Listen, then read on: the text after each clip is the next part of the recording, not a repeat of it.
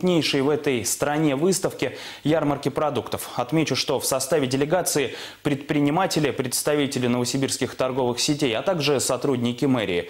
В городе Худжант, где работает выставка, сейчас и мой коллега Антон Веселов. Антон, добрый день. Коллеги, я рад вас приветствовать из Худжанда, где буквально несколько минут назад официально открылась выставка «Ярмарка СУКТ-2016», на которую съехались производители со всего Таджикистана. Здесь они ищут закупщиков, в том числе и из России. Например, из Новосибирска приехали представители двух крупных торговых сетей. Это «Холидей» и «Гигант».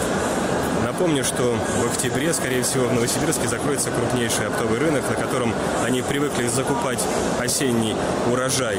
И теперь придется заключать договоры напрямую. Что они собираются делать, уже выбрали себе поставщиков. Я думаю, что скоро будут подписаны официальные бумаги.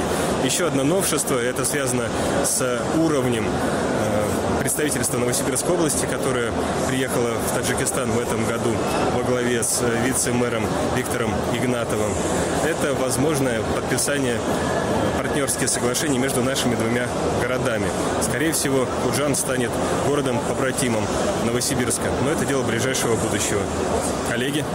Антон, спасибо.